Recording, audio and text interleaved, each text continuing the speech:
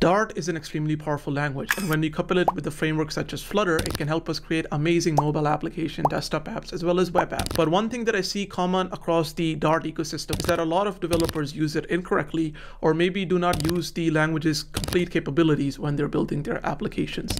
So what I want to do in this video is share with you guys some do's and don'ts when it comes to Dart programming, and hopefully help you write more clear and concise code.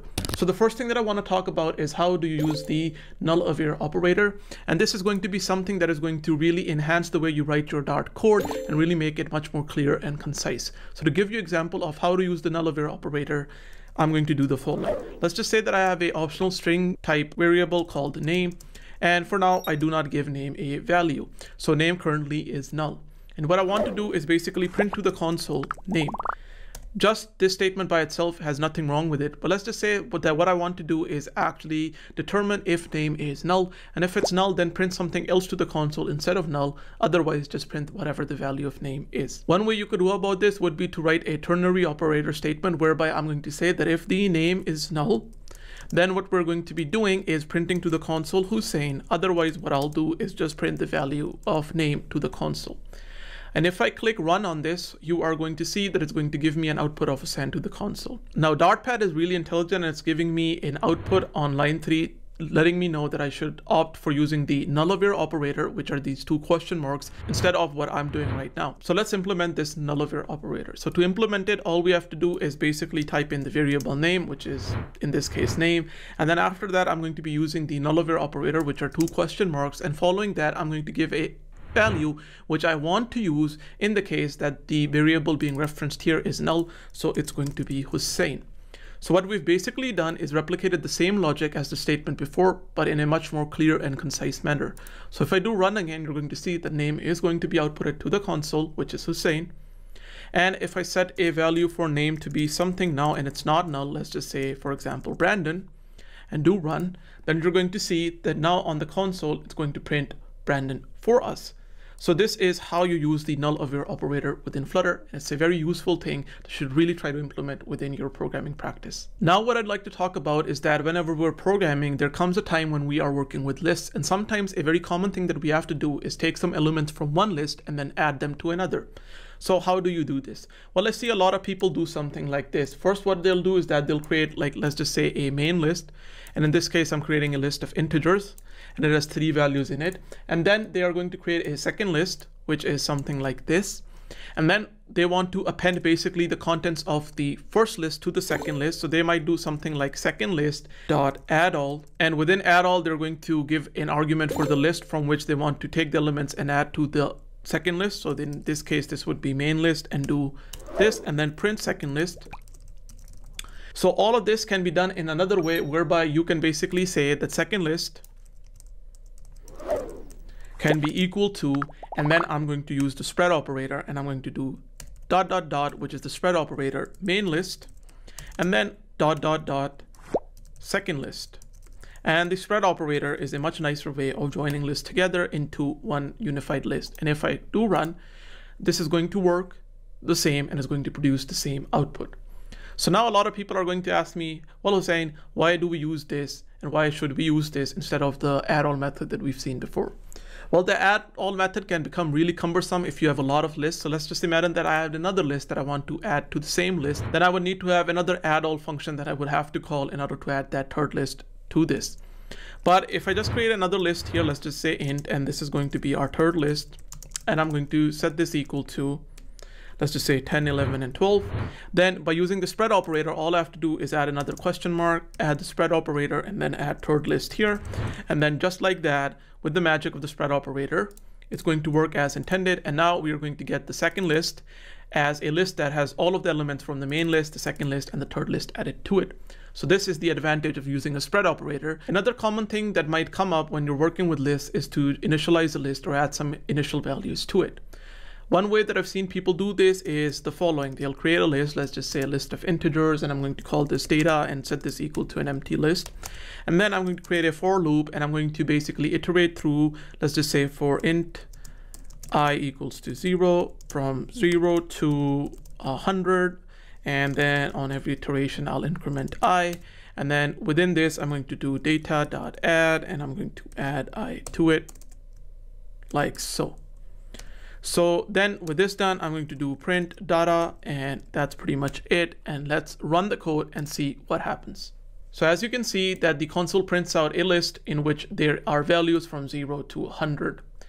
So there's nothing wrong with this code. It's perfectly fine code, but there's a lot of verbosity in this for loop. And this is something that where we can use something else in order to make our code much more easier to understand and concise.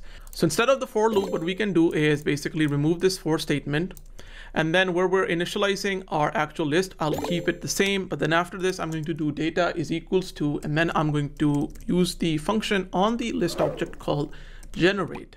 And what generate does is that it takes in a argument which is the amount of elements that we want to generate, and a function that is basically going to be invoked for each of the elements that are going to be added to this list, and then the value that's going to be returned from this function is going to be added to the list. So in this case, what I want to do is just add the same index. So what I'm going to do is that I'm going to take in the index, and I'm going to return the index like so. And this way, it's going to be much easier for us and a much more concise way for us to generate a list of digits from 0 to 100 using the list.generate function instead of a for loop. So if I do this, you can see that the output is the same, but this time our code is much easier to understand. Another thing that I've seen a lot of people do is when they are creating their conditional statements or control flow statements that they use Boolean values incorrectly. And what I mean by this is let's just say that I have a Boolean value, which is bool is continue, let's just say, and I set that equal to false. And what I want to do is that I have a if statement where I check if is continue is equals to true. And a lot of people do it this way. So if is continue is true, print yeehaw. And that's pretty much it. So if I run the code, you're going to see that we are going to get no output. So as you can see, nothing gets printed to the console. But if I set the is continue value to be true and run this, then you're going to see that the console prints yeehaw. But to simplify the statement, all you can do is just remove all of this checking if the value is equals to true and just doing is continue. And by default, what this statement means is that if is continue is true, which is the same thing that we were doing, then print yeehaw, else don't. And if you want to do false, then one thing you could do would be to actually check it like so, which is equal to equals to false. Or another way you could do this is by just putting an exclamation mark in front of the variable name. And this way it's going to be the same. So if you do this and you run the code, you're going to see that it's not going to print anything to the console. But if I go ahead and set the is continue variable to false and click run, then it's going to print yeehaw. So opt for using this type of a syntax instead of true or false. It's going to be much more cleaner and easier for you to understand as well as other people. The next thing I want to talk about is string concatenation within Dart. So let's just say that I have a string, which I'm going to call s1 and is equals to hello. And then I have another string, which I'm going to call string s2, which is world. And then I am going to say string 3 which is going to be subscribe like so. And then what I want to do is that I want to create a string which I am going to call combined and it's going to be s1 plus s2 plus s3. And this is a way that I've seen a lot of Dart developers basically implement string concatenation within their program. So if I go ahead and do combined, then I run, you're going to see that it's going to print some kind of an output of the concatenated string s1, s2, s3 that's stored and combined to the console. But what if I want to add some spacing between hello and then after world? Well, if I'm using this type of a strategy, I might have to then add a string, add a space, concat again, and then do the same here. So plus space, and then add another plus sign here and remove this one.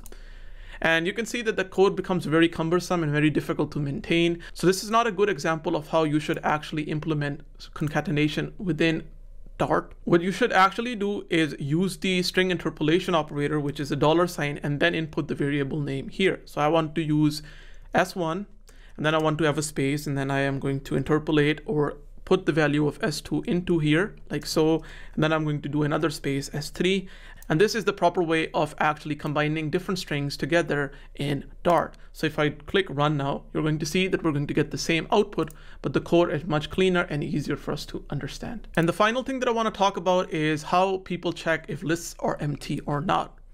So I've seen that a lot of Dart programmers, what they do is that they would have a list, let's just say a list of int, and I'm gonna say users, and it's an empty list. And then what I want to do is basically check if users is empty. So one way people would do this is by doing length is equals to zero, and then basically print something here. So I'm going to say print empty, like so. And then if I click run and forgot to add a semicolon here, you're going to see that on the console we get printed empty. Instead of using dot length is equals to zero, what we can do is actually use the is empty variable on the actual users list. And this is available or on list objects. And what this is basically going to do is simplify the logic for us and make it easier for understand what's actually happening. So if our users is empty, then I want to print empty to the console. So it achieves the same purpose as what we were doing before, where we were basically checking if the length was equal to zero, but in a much more nicer and cleaner fashion. And that's pretty much it for today's tutorial. And I hope that you enjoyed it. If you did, then please don't forget to leave a like on the video as well as subscribe to my channel so that you get notified every time I upload a new video. And as always, stay happy, stay healthy, keep learning, keep growing, and I'll see you guys in the next video. Bye-bye.